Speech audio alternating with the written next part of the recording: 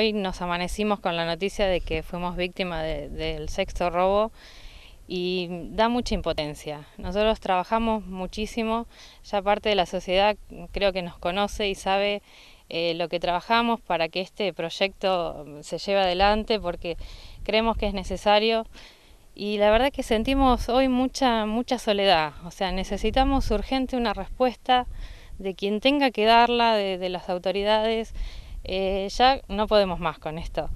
Eh, le ponemos la vida a este proyecto y, sentimos que no, no puede ser que, esto sea tierra de nadie. A raíz de los robos eh, decidimos destinar fondos a hacer una casa para que viva un matrimonio de casero. Es lo que estamos llevando adelante. Justamente para evitar que ocurran estas cosas. Exactamente, para evitar los robos. Em, los, los cerámicos había que colocarlos, no dejamos materiales ya para que no los roben.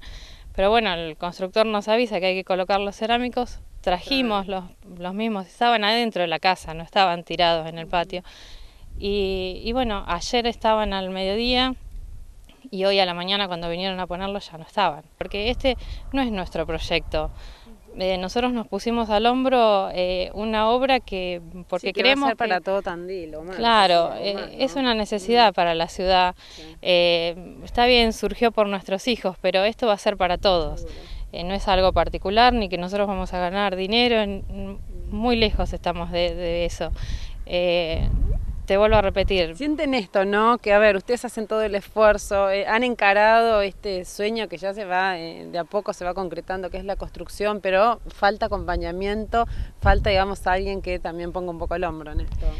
Creemos que sí, en estas situaciones a nosotros siempre, la verdad que siempre nos apoyan mucho, la gente colabora un montón, eh, pero en estas situaciones... Hablamos en realidad del municipio, a ver qué puede hacer el municipio en materia de seguridad. Claro, exacto, o sea, eh, sabemos que va a haber cámaras, bueno, eh, apuremos eso, por favor, hace tiempo que estamos pidiendo las cámaras de seguridad, no sé si van a ser la solución.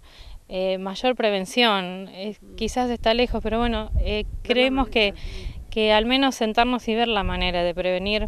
Los cerámicos que robaron los había donado un centro de jubilados. sí, es mayor la bronca cuando vemos que además no solamente es nuestro esfuerzo, sino el esfuerzo de toda la sociedad, el que está siendo vapuleado.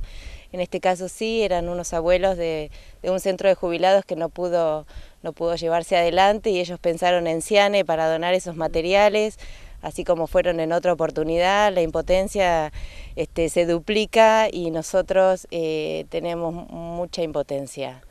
Necesitamos, como decía Sandra, el acompañamiento, necesitamos que cualquier persona que pueda tener un dato, porque en esto estamos todos, todos podemos advertir alguna situación irregular, eh, transmitirla, porque creemos que este proyecto... Sí, de Arabella deben haber trasladado obviamente en, auto. Sí, obviamente que la movilización en esta parte de la ciudad tiene que hacerse este, en, vehículo. en algún rodado.